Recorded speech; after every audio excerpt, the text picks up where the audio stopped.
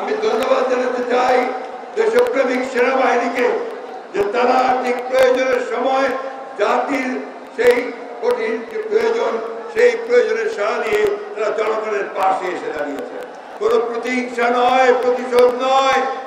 আমাদেরকে এই ছাত্র আন্দোলন, জনতার যে আন্দোলন, তার বিজয়কে সুসংগত করতে আমাদেরকে সর্বক্ষেত্রে আমাদের নেতা কর্মীরা ছড়িয়ে রেখে ছড়িয়ে যাবেন এবং তারা অবশ্যই এই বিষয়গুলো যেন না ঘটে পুনরাবৃত্তি তার দিকে সম্পূর্ণ দৃষ্টি দেবেন। বন্ধুগণ, আমি বক্তব্য দীর্ঘ করব না। আমাদের নেতা, তরুণদের নেতা, যার নেতৃত্বে আমরা সংগ্রাম করেছি, তিনি বক্তব্য রাখবেন। ও একই সঙ্গে আজকে আমাদের দলের চেয়ারপারসন, যিনি প্রায় ছয় বছর কারান্তরালে ছিলেন অসুস্থ হয়ে পড়েছেন, এখনও তিনি অসুস্থ হয়ে আছেন। আজকে তিনি মুক্ত অবস্থায় আপনাদের সামনে দুটো কথা বলতে পারেন। তাই আমি আপনাদের অনুরোধ করবেন যে আপনারা শান্ত হয়ে ধৈর্য ধরে অপেক্ষা করবেন। একটা কথা সবসময় মনে রাখতে হবে, এখন যে কাজ, এই কাজটি সবচেয়ে কঠিন কাজ। সেই কাজ হচ্ছে এই বিজয়কে সুসংহত করা। গণতন্ত্রের উত্তরণকে সঠিকভাবে এগিয়ে নিয়ে যাওয়া।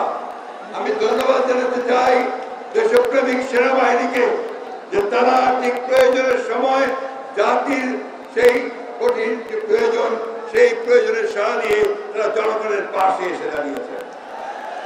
আমি ধন্যবাদ জানাতে চাই আমাদের ছাত্র নেতাদেরকে, আমাদের নেতৃবৃন্দকে তাই তারা কাঁধে কাঁধ নিয়ে লড়াই করেছেন, সংগ্রাম করেছেন এবং আজকে একটা যৌক্তিক পরিণতির দিকে বন্ধুগণ, আমরা আবারও বলতে চাই।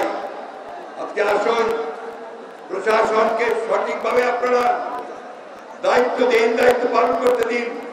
আমি রাষ্ট্রপতির কাছে আহ্বান জানাব, অতি বিলম্ব, অনতি বিলম্বে, কোন বিলম্ব না করে ইন্টারিম গভর্নমেন্ট যেটা শহরের দাবি, অন্তর্বর্তীকালীন সরকার, সেই সরকার গঠন করুন।